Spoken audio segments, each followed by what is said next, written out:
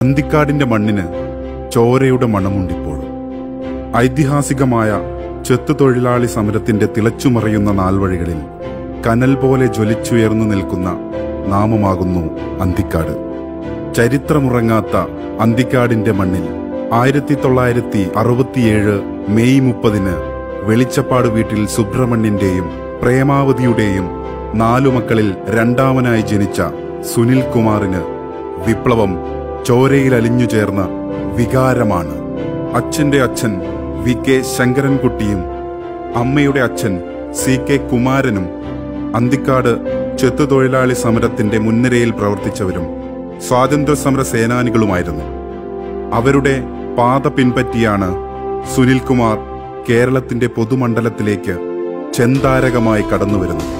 Anthikad K G M L P school Anthikad high school എന്നിവിടങ്ങളിൽ പ്രാഥമിക വിദ്യാഭ്യാസം.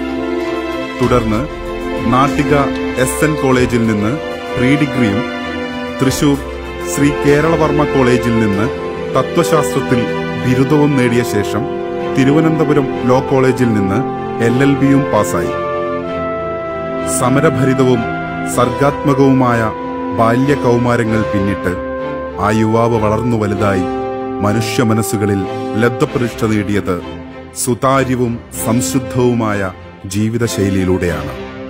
സുനിൽകുമാറിന്റെ പൊതുജീവിതത്തിന്റെ പുതിയൊരു ഘട്ടം തുടങ്ങുന്നത് വിദ്യാർത്ഥി സംഘടനാ രംഗത്ത് സജീവമായ സമയത്താണ്. സമരഭരിതമായിരുന്നു യുവജന സംഘടനാ പ്രവർത്തന കാലം. വിദ്യാർത്ഥി യുവജന സമരങ്ങളിൽ പങ്കെടുത്ത് പോലീസ് മർദ്ദനവും ജയിൽവാസവും അനുഭവിച്ച സുനിൽകുമാർ നവോദയ സമരം പോളിടെക്നിക് സമരം പ്രീ ഡിഗ്രി ബോർഡ് സമരം സ്വകാര്യ സ്വാശ്രയ കോളേജ് സമരം തുടങ്ങിയ പ്രക്ഷോഭങ്ങളിൽ സജീവമായിരുന്നു. സെക്രട്ടേറിയറ്റിന് മുന്നിൽ നടന്ന സ്വകാര്യ സ്വാശ്രയ കോളേജ് സമരത്തിൽ പങ്കെടുത്ത് പതിനാല് ദിവസത്തെയും പിന്നീട് പതിനൊന്ന് ദിവസത്തെയും നിരാഹാര സമരം നടത്തി.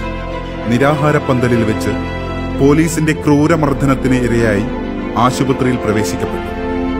രണ്ടായിരത്തി ആറിൽ യുവജന പ്രക്ഷോഭത്തിൽ പങ്കെടുത്ത് നിയമസഭാ മാർച്ചിന് നേതൃത്വം കൊടുക്കുമ്പോൾ പോലീസിന്റെ ഇലക്ട്രിക് ലാത്തി പ്രയോഗത്തിൽ മർദ്ദനമേറ്റ് ഇരുപത്തിയൊൻപത് ദിവസം പൂജപ്പുര സെൻട്രൽ ജയിലിൽ തടവ് ശിക്ഷ അനുഭവിച്ചു. പൊതുസമൂഹത്തിന്റെ നന്മ ലക്ഷ്യം വെച്ചുകൊണ്ട് നടത്തിയ എത്രയെത്ര സമരങ്ങൾ എണ്ണിയാലൊടുങ്ങാത്ത പ്രക്ഷോഭങ്ങൾ.